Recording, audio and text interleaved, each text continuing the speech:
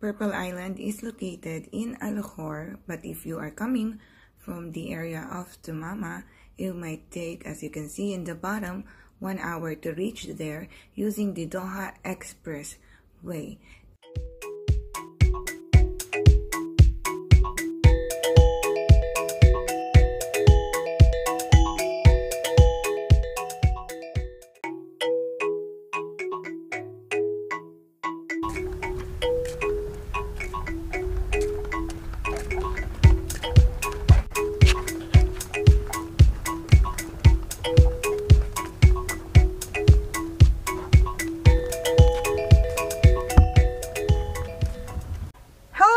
Everyone! Welcome back to my channel and for today's video, mapapansin nyo po iba yung background natin.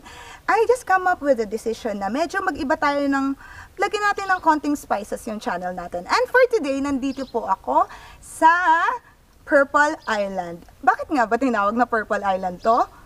Sabi nila dahil yung mga flowers daw nagiging purple. But now, since it's summer, medyo low tide tayo. So, hindi ko nakikita yung pagka-purple ng island. Though, maganda naman siya kung nature lover ka kasi puro green and then may pabato effect dun sa may bandang dulo. Merong mga kung anik-anik sa mga gilid ng bridge na ito na makikita nyo, merong patubig at may pa-crabbing. Kung naghahanap ka ng ulam, dumiretso ka dito, mag-crabbing tayo.